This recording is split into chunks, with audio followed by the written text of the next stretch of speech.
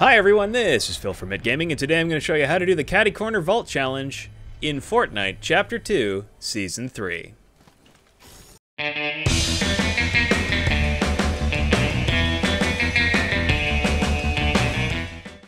One of the new challenges for week one of Fortnite Chapter 2 Season 3 is to enter the Catty Corner Vault.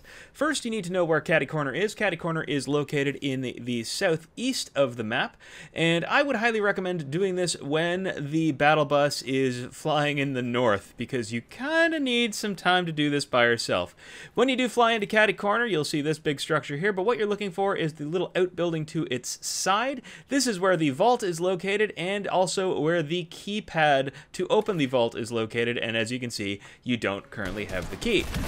But where do you go to get the key card? Well, spawning throughout Catty Corner are henchmen, and one of those henchmen is not a henchman at all, it's actually a boss called Kit. And he is very, very tough, but if you do manage to drop him, he will drop the keycard for the vault.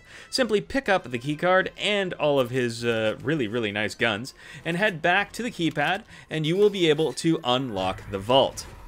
Be aware this will make you extremely popular to everyone else in the area, so definitely shoot all the alarms to try to keep this as low profile as possible. It is important to note that you don't need the keycard to complete this challenge, you just need to walk into an open vault. So if somebody else has already opened the vault, you will get the challenge unlocked even though you had nothing to do with getting the keycard.